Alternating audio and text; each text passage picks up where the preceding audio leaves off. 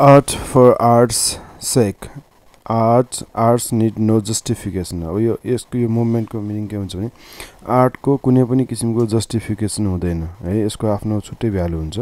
Having its own value or any art should not be जज apart from anything कुनै पनि चिजबाट कुनै पनि पोइन्ट अफ भ्यूबाट आर्टको जजमेन्ट हुँदैन। आर्ट आफैमा इम्पोर्टेन्ट हुन्छ आफैमा भ्यालुएबल हुन्छ है। अब एडभोकेटेड भनेको spoke or write in favour of public selfish selfish means behaviour related to personal benefits profit or pleasure giant means an imaginary or mythical being of human form but superhuman in size, and a person of extraordinary powers or legendary human like creature having a great strength okay. Anthology. A collection of uh, literary works or selected writings. Cornice aug. Uh, it's cornice aug means uh, aug. Aug is okay. A large frightening character in children's stories supposed to eat uh, children. Here a brutish giant a friend of the selfish giant. Okay castle a large strong building of a ruler or a powerful person made to protect his people inside from attacks okay. And a tree uh, trespasser okay. So it means uh, people who go into someone's land or enters their building without authority or permission it's called trespassers prosecuted uh, charging someone of a criminal act and uh, to charge a punishment uh, to such person. Okay. Wonder walk around slowly without any clear purpose. Cloak is covering to something. Wrapped covered with something. Furs skin of animals.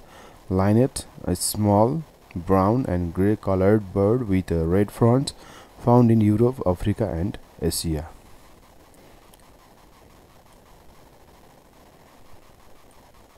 And a casement.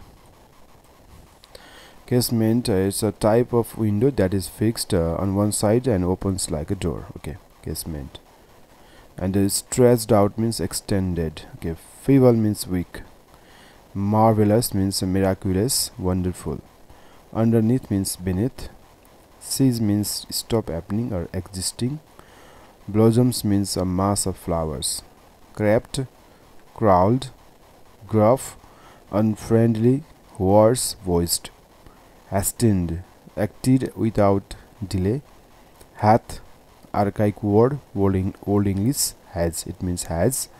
Rattled, made a series of short loud sounds that of hailstones. Slay, kill the object thou you object ob subject the you object the भनेको you हो object thou भनेको you हो uh, subject के अरे thou thou subject the object okay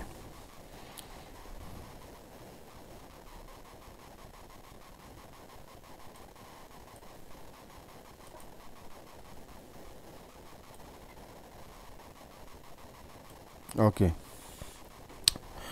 अब यहाँ केही क्वेसन्सहरू छ।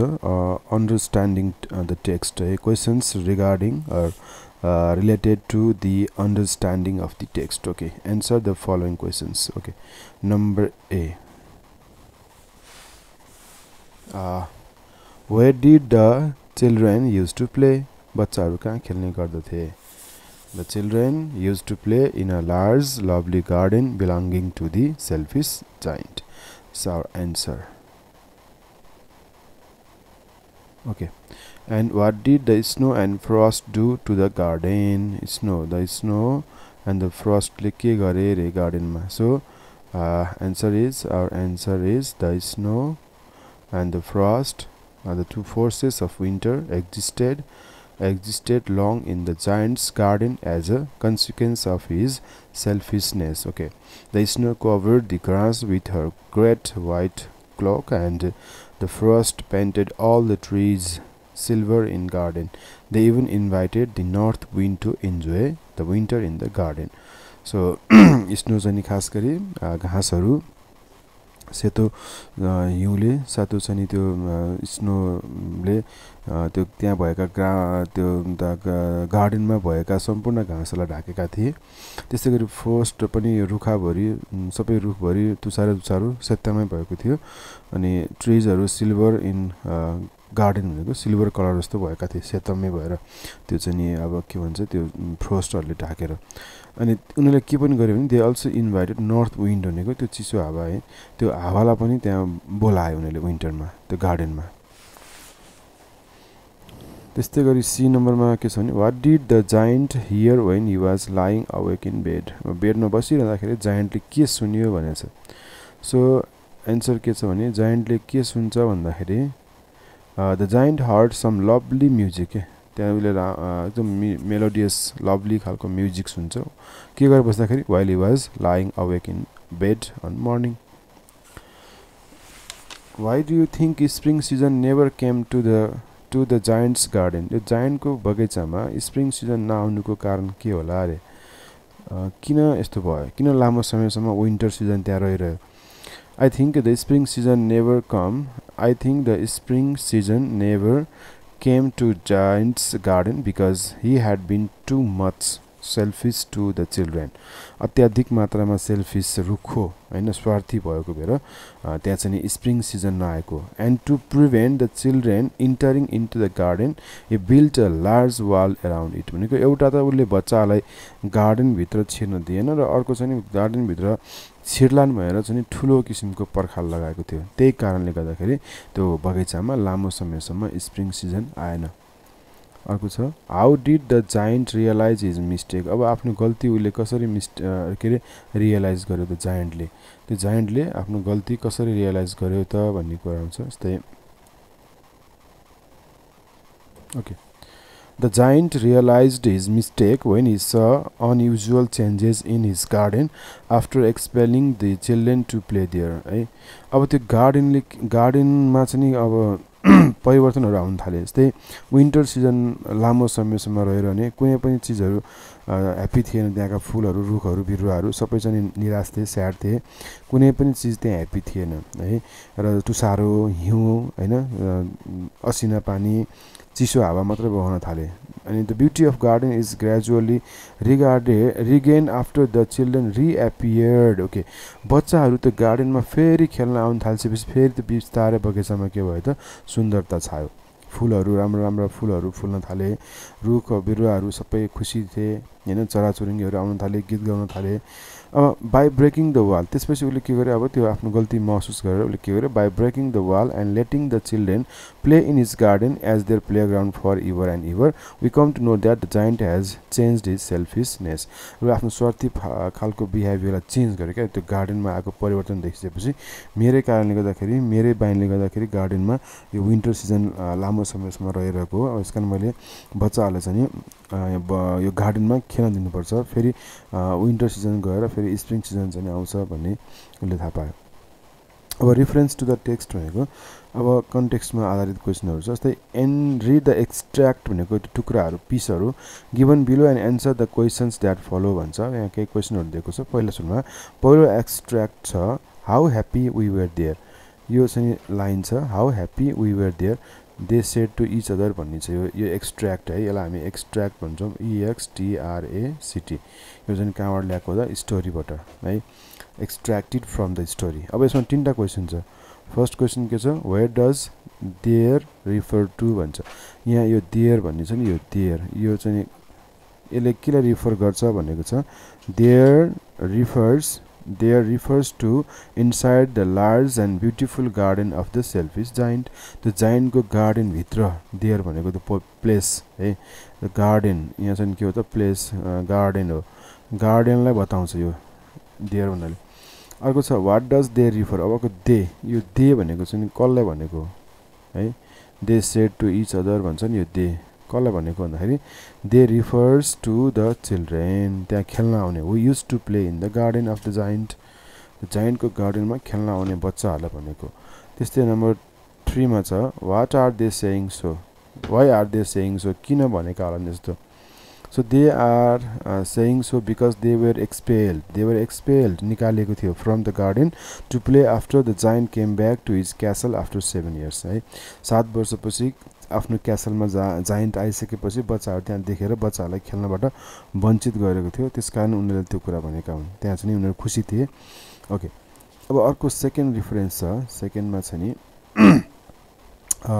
I have many beautiful fla flowers मसँग धेरै राम्रा फुलहरू छन्। I have many beautiful flowers he said but the children are the most beautiful flowers of all तर त्यो बच्चाहरू चाहिँ सबैभन्दा राम्रा फ्लावरहरू हुन् भन्छ। So who is the speaker speaker को हो त यहाँ? बोल्ने मान्छे को हो त? है? Who is saying this this thing the giant is the speaker the giant is the speaker in this line who is speaking who is he speaking to कोसँग बोलिरहेको छ who is he speaking to he is speaking to himself he is talking to himself ऊ आफैसँग बोलिरहेछ अनि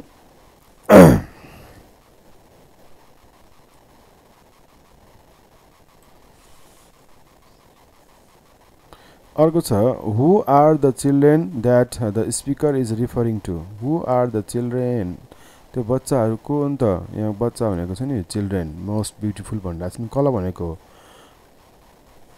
He is referring to the children who use to play in his garden उसको गार्डनमा खेल्ने बच्चाहरूलाई भनेको। अनि अर्को छ next why is the speaker saying that the children are the most beautiful flowers of all यो कुरा उसले किन भनिरहेको छ? सबभन्दा मोस्ट ब्युटिफुल फ्लावर्स भनेको ती बच्चाहरू हो भनेर। When the giant saw the children playing in the garden the beauty of the garden increase okay त्यो ब्युटी फेरि आयो है। गार्डनको चाहिँ जुन सुन्दरता फेरि रिगेन हुन थाल्यो है बच्चाहरू खेल्न थालिसकेपछि। More and more and so he said so he said that the children are the most beautiful flowers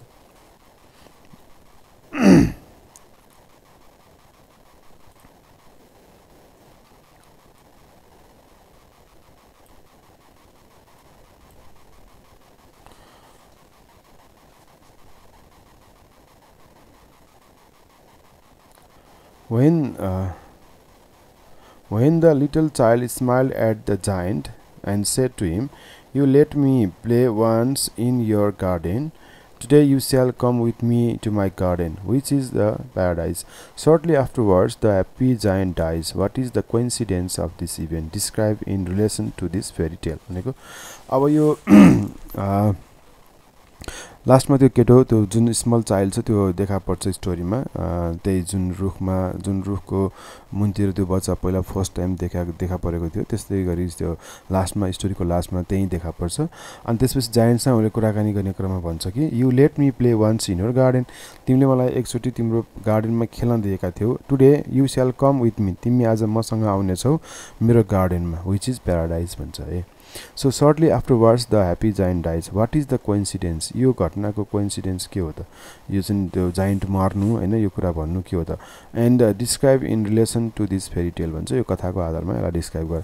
So the coincidence of this event is once in a so you can write down the answer in this way once in a corner of the garden the little child was trying to play at the top of a tree or on the branch of a tree एउटा बच्चा जुन सानो केटो छ नि त्यो एउटा कुनै रुखको चाहिँ ब्रान्चमा खेल्न चाहन्थ्यो। त्यहाँ चढेर खेल्न चाहन्थ्यो। But the boy was unable to play because he was very small उसको हाइट कम भएको भएर सानो बच्चा भएको भएर बच्चा चाहिँ नि रुखमा चढ्न सकिरहेको थिएन। The giant approach near the boy and put him into the tree र त्यो जाइन्टले त्यो बेलामा त्यो बच्चालाई रुखको ब्रान्चमा राखेर बसेर खेल्नलाई सहयोग गरेको थियो। उचालिदिएर त्यहाँ रुखमाथि राखिदिएको थियो।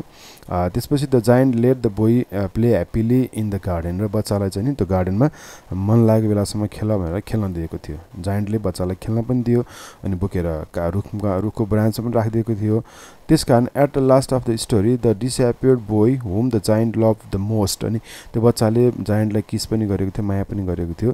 अनि त्यही भएर त्यो बच्चाको याद उसलाई आइरहेको थियो। अनि त्यो डिसएपियर्ड बोय छ नि स्टोरीमा फेरि देखा पर्छ at the last of the story and most होइन रिएपियर्स विथ द वन्स अनि तर उसको शरीरमा उसको हातहरूमा खुट्टाहरूमा चाहिँ घाउ हुन्छ। त्यो चाहिँ वन्स अफ लभ हो। After the redemption of the giant from his previous sin the god has come to take him the paradise अनि उसले आफ्नो जुन पाप मुक्ति गरिसक्यो जुन किसिमको त्यो सेल्फिसनेस उसको जुन हेबिट थियो त्यसलाई त्यागिसकेपछि उन्मुक्ति अथवा के भन्छ सेल्भेसन प्राप्त गरिसकेपछि रिडेम्सन प्राप्त गरिसकेपछि उसलाई लिनको लागि प्याराडाइजबाट आएको थियो द लिटल बोय गड है मान्छेको फर्ममा so the god has come to take him to the paradise in a form of a little boy in return to give an eternal peace and happiness है। जुन खुसी पहिला बच्चालाई दिएको थियो जाइन्टले त्यस्तै खुसी दिनको लागि लिन आएको भन्छ। And once the giant gave to the little child the death of the giant under the tree all covered with white bosoms after he sees the little boy there proves that the giant has already made a place in heaven because of his noble worth. Okay. So this is the coincidence of uh, this event.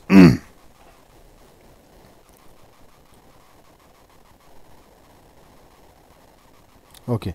Now question number b the story makes use of personification यसमा पर्स पर्सोनिफिकेसनको कुरा आएको छ। जस्तै as one of the main figures of speech side three examples of personifications from the story what is the significance of the season personified in the story okay अब first हामीले यहाँ पर्सोनिफिकेसन भनेको के हो र फिगर अफ स्पिच भनेको के हो त्यो बुझ्न जरुरी छ। हामीले एन्सरमा पनि यो कुरालाई इन् इन्क्लुड गर्नुपर्छ। जस्तै a figure of speech is a word यो phrase or even a sentence है यो चाहिँ एउटा शब्द हुनसक्छ फ्रेज हुनसक्छ र कुनै पुरै एउटा सेन्टेन्स पनि हुनसक्छ. Having a separate meaning having a separate meaning from its literal definition है त्यो त्यसले के गर्छ भने जुन सा शाब्दिक अर्थ जुन हुन्छ नि शब्दहरूको त्योभन्दा फरक किसिमको अर्थ दिने. यो खास गरी यो सेन्टेन्सलाई राइटिङलाई सजाउनको लागि होइन? त्यसलाई चाहिँ इम्बेलिस गर्नको लागि चाहिँ नि यो फिगर अफ स्पिच चाहिँ नि फुलबुट्टा भर्नको लागि ल्याङ्ग्वेजमा युज गरिन्छ। It is use in literature साहित्यिक वर्कहरूमा यसको युज हुन्छ। It is use in literature to adorn सजाउन sentences and impart the main theme to the readers है। त्यो रिडरलाई जुन दिनुपर्ने जुन म्यासेज छ त्यो म्यासेज क्लियरली दिनको लागि पनि यस्ता कुराहरूको प्रयोग गरिएको हुन्छ राइटिङहरूमा there are many tools or figure of speech such as अब सिमिली हुन्छ मेटाफोर हुन्छ अलिटरेसन हुन्छ पर्सनिफिकेसन हुन्छ। यसलाई हामी टुल्स भन्छौँ फिगर अफ स्पिचको टुल्स भन्छौँ। And use in both verbal and written यो लेखाएर बोल्ने लेख्ने बोल्ने दुवै ल्याङ्ग्वेजहरूमा चाहिँ यो फिगर अफ स्पिचको युज हुन्छ। This fairy tale the selfish giant uses the figure of speech personification यहाँ चाहिँ पर्सनिफिकेसनको युज भएको छ। यो सिम्बल्सहरू पनि युज भएको छ स्टोरीमा तर यो मेटाफोरहरू पनि युज भएको छ है। तर यहाँ चाहिँ पर्सनिफिकेसन अलिक बढी युज भएको छ। As the main tool to attribute human qualities to non human object भनेको यो पर्सनिफिकेसन भनेको के त भन्दाखेरि giving human qualities to non human beings non human object क्या अब नन ह्युमन अब्जेक्टलाई ह्युमन क्वालिटी दिने होइन? त्यसलाई हामी पर्सनिफिकेसन भन्छौँ। जस्तै यहाँ फ्लावरलाई दिएको छ स्नोलाई हेल नर्थ विन्ड फर्स्ट यिनीहरूलाई चाहिँ पर्सनिफाइड गरेको छ स्टोरीमा personification to these object in the story help the reader to understand the main theme or moral lesson है। के भन्न खोजेको हो त्यो कुरा बुझ्न हामीलाई सजिलो पनि हुन्छ पर्सनिफिकेसनले giving the things human qualities giving the things भनेको अब्जेक्ट है। यहाँ अब्जेक्टहरूलाई ह्युमन क्वालिटी दिने object giving the things human qualities the writer has made the readers to have a clear understanding of the story emotionally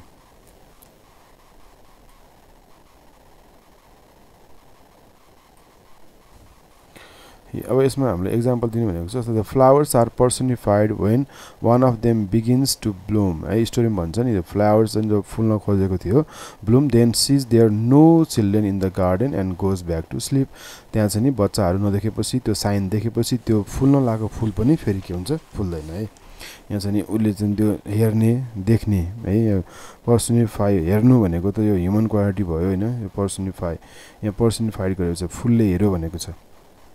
The this variety of personification continues with the happiness of snow snowको happiness होइन फ्रोस्टको happiness happiness भनेको त human quality हो यहाँ snow happy छ frost happy छ होइन as the garden lacks the spring season and they invite the north wind to the to the garden this wind is personified when it says with delight that they must आक्स the hail to visit the garden होइन यस्तो कुराहरू क्या? यो मान्छेले जस्तो गर्ने व्यवहार देखाउँछ नि यो अब्जेक्टहरूले वस्तु थिङ्सहरूले यसलाई हामी पर्सनिफिकेसन भन्छौँ।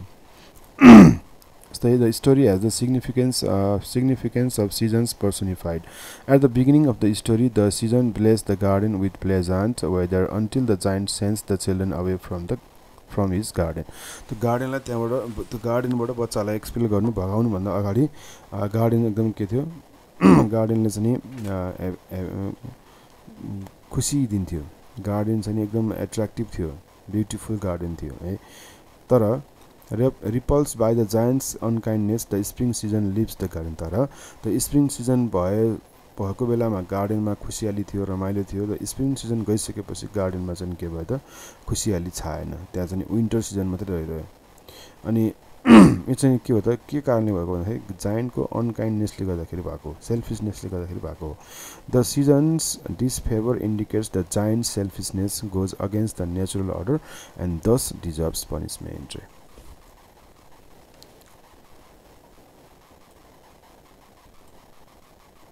okay so this story can be read as a fairy tale fairy Telco रूपमा हामी यसलाई पढ्न सक्छौँ where the children the season and the tree the corner of the garden the snow the wind and the frost all are use as symbols so interpret this symbols भन्छ सिम्बलले के के symbolize गर्छ the story selfish giant is a fairy tale the story writer has adapted the approach of symbolism symbolism means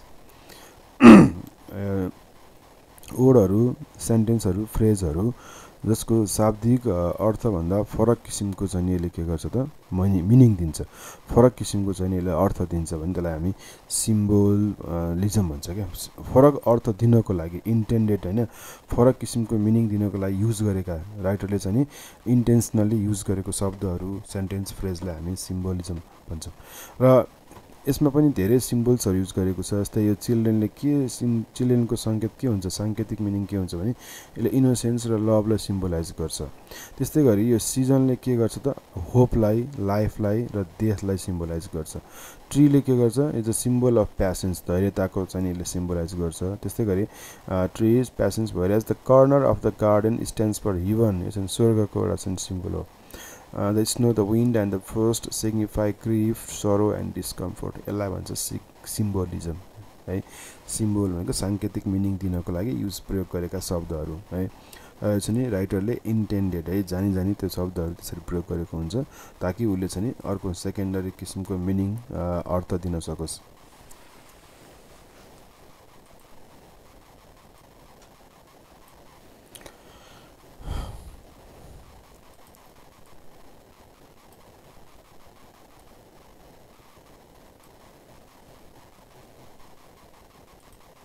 Which figure of speech is used for winter, frost, snow, north wind, hail and little child? भन्छ। अब यसमा हामीले figure of speech के use गरेको छ भन्छ। Who is the little child compare to real as a fairy tale the story is full of figure of speech both methods of personification and symbolism यहाँ use भएका main दुइटा figure of speech भनेको personification र symbols हो। Are use for winter frost snow north wind hail the little child is presented as the Christian symbol he is compare to Jesus Christ okay now reference to the text what is the main uh, what is the main theme here T H E M E what is the main theme of the story main message M E S S A G यसको मुख्य message के हो स्टोरीले के कुरा भन्न खोजेको छ Oscar Wilde has covered the themes of unselfishness and love. At the beginning of the story, the giant is very selfish and cold toward the children and builds a high wall around the garden and puts a notice board to stop them. But later he realizes his mistake when the children stop coming to the garden and the garden never experiences the spring season until he allows them to play in the garden. As he knows the meaning of love and sharing the uh, spring weather comes not only the giant brings happiness to the children but also he also ensures uh, that he will get into heaven with his act of kindness. The giant's nature is associated with the with that of human being. So we really share our belonging to anyone even if someone is needed. So we are selfish too. The story teaches us uh, to share love uh, to get love in return. Okay now the last question uh, you have to do it yourself. यो चाहिँ नि भाइ बहिनीहरूले आफै गर्नु होला does the god punish those who are cruel to children and very selfish okay thank you for thank you for watching this video.